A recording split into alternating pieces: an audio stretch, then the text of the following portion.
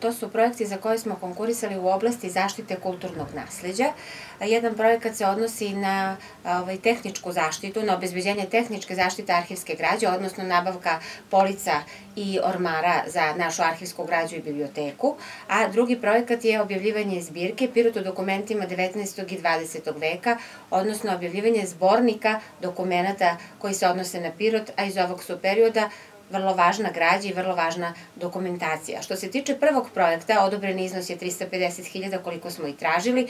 Za drugi projekat o ovoj publikaciji, tu smo tražili 300.000, toliko smo i dobili i eto mogu da kažem da su neke druge ustanove, e, neki drugi arhivi naše kolege iz drugih gradova e, takođe konkurisali, ali ili nisu dobili ili su dobili manji iznos nego što su tražili. Mi smo išli, e, nosili smo se mišlju da je bolje da konkurišemo za manji iznos, a da budemo nekako, da verujemo da će biti odobreno, nego da budemo hlapljivi, tražimo puno, da ne dobijemo ništa. Mislim da sve što dobijemo znači i u ovom slučaju znači će puno, jer ćemo mi obezbediti um, prostor i mesto za skladištenje arhivske građe i biblioteke.